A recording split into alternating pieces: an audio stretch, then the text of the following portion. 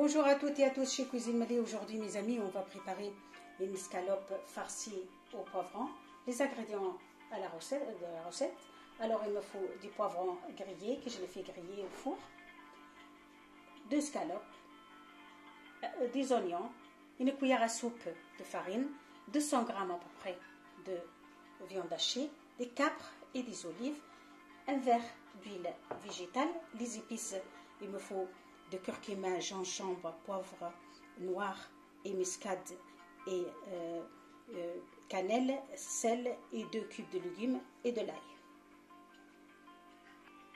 مرحبا بكم اصحابي وحبايبي في كوجينة مدية اليوم باش نحضروا اسكالوب آه، محشية بالفلفل المشوي آه، شنو يلزمنا للروسيت يلزمنا اسكالوب ومقصوصة ترانش آه، رهيفة بكل كعيبة بسل والفلفل الخفيف الفلفل الاحمر وشويته كيما نحضروا السلطه شويه بالضبط نحيط من القشره شويه زيت زيتون اكحل كبار سكيس زيت عادي 200 غرام نتاع لحم مفروم ومغرفه نتاع فرينه وزوج مرشوات اللفاح نتاعنا زوج مرشوات نتاع خضره والثوم سكين جبير كركم فلفل اكحل وشويه آه، مسكاد وشويه قرفه وملح تبعوني تشوفوا روسيت تحفونا برشا وتصلح خاصه يبدو على النظيف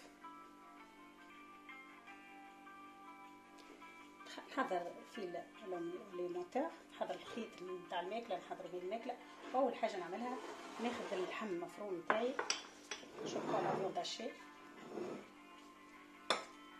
نحط الوفاح نتاعي الحاجه منها شويه نفوقو والحاجه منها شويه la moitié. Et je mélange tout ça.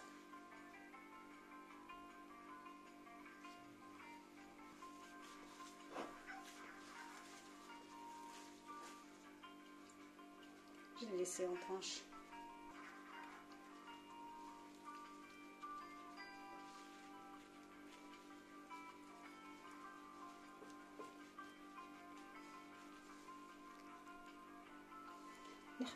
شوية تفاح خاصة الملح بالسال سورتو بالبوافر نوار شوكولا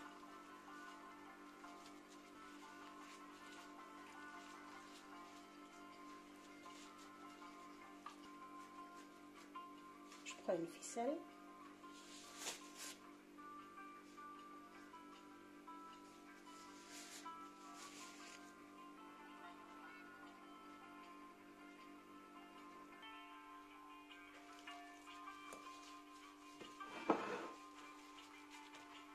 une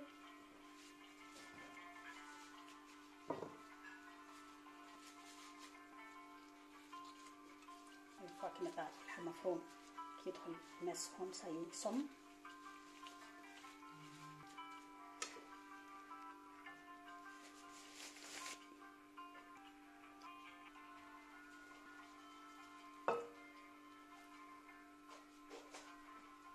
Et après, on ajoute un verre d'eau.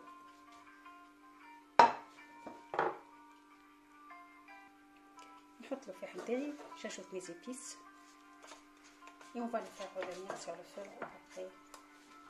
20 minutes à 15 نحطها على النار مدة 20 دقيقة واحنا نبدو نقلوها بشوية بشوية ومن بعد نزيدو كاس ماء زوج مصفيت خضرة هذوكم نحلوهم بشوية ماء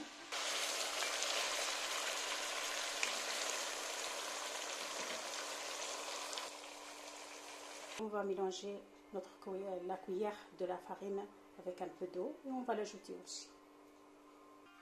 هذه مغرفة الفرينة تاعتنا نزيدوها شوية ماء la farine. On بالماء ونزيدوها للصوص نتاعنا une fois que c'est bien mélangé on va l'ajouter à la sauce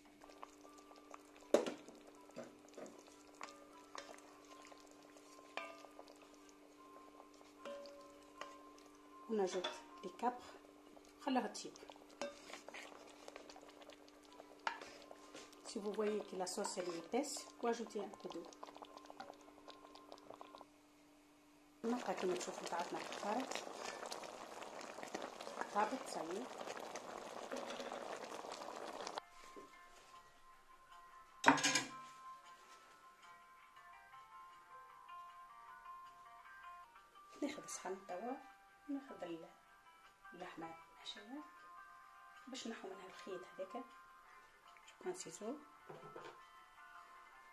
ناخذ المقص نتاعي نحي الخيط